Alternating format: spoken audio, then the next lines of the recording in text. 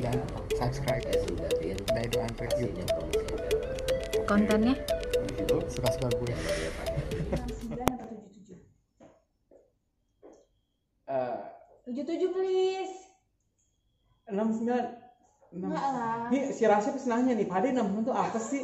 69 itu rumah kantor ya, Iya, Rasya 69 itu nomor kantor, kantor, 77 itu kemandoran. Kemandoran Kemandoran. ya. Jadi aku lebih senang di kantor 69. Oh lebih senang di eh, sini? Iya, 69. 69. Oh gitu. Masa? Lebih suka cium di kuping apa leher? Leher. Bukan gini, beda. Kuping itu nggak bisa dicium, Bisa. tapi dijilat. Oh my god. Serius. Buat nggak beda loh. Lu cium kuping ngapain nih coba ya? Lu bayangin, cium kuping nggak ada, ada juga. gini. Cium leher iya. Ya. Buat gue, gue kuping itu nggak pernah gue cium, gue jilat. Bisa kan jadi lo kayak Oh kalau whispering iya. moaningnya gitu. Oh iya, jadi lo ada morningnya di depan ini Iya, kan? gitu. Itu iya. Sambil cium. Gitu. Tapi lo tetap kalau kalau Leher, leher tetap leher. ya? leher karena karena leher itu bisa morningnya tuh makin Lebih lebih lebih. lebih lebih Foreplay atau nggak foreplay? foreplay. Kissing pelukan itu bisa bisa bikin lo lebih lebih lama dalam Proses. proses itu. Karena bukannya eh, bukannya kayak lo datang cukup cukup cukup selesai udah ada gue nggak nggak suka kayak gitu gitu loh. Kalau melakukan itu kan hanya untuk berdua.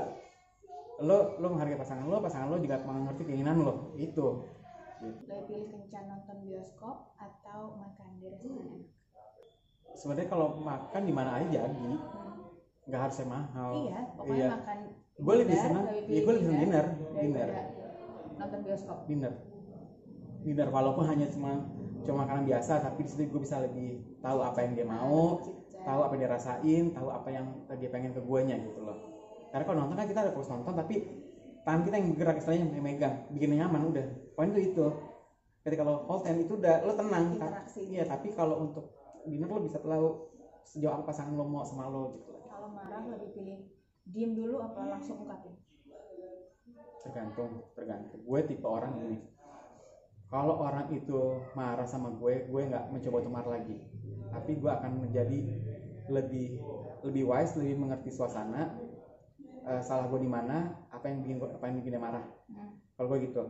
Eh, itu kalau dari dianya marah. Tapi kalau dari gue yang marah gue lihat dulu sejauh apa marahnya mesti sejauh apa kesalahannya kalau kalau salah besar pasti gue marah tapi kalau salah yang masih kecil dan bisa diperbaiki yang gue akan gue gue bikin maksudnya gue benerin gitu loh nggak harus emosional Lo tuh tipe pasangan yang lebih suka kalau lagi ada apa-apa berantem atau kesel atau Hmm. bete atau hmm? ngambek itu tipe yang lebih suka di WhatsApp, di telepon, apa disamperin? Kalau gue lebih seneng lebih seneng telepon. Kenapa? Kalau di telepon lo bisa tahu intonasi suara lo. Hmm. emosi lo tahu oh dia marah. Oh dia seneng. Oh dia nggak suka. Oh dia lagi sedih. Itu bisa ketahuan karena kita mendengarkan dari sini kan langsung ke otak ke, ke hati kita. Berarti kita mengerti apa yang ada di dia. Tapi kalau di WhatsApp kita nggak tahu bahasa WhatsApp yang gue bilang. Lo nggak tahu dia marah nggak tahu dia kesel. Ah, jadi berasumsi aja. Padahal lo ngomong biasa tapi karena Dikira lo nggak kencang ya gitu gitu kan. tapi kalau misalnya Ada options disamperin?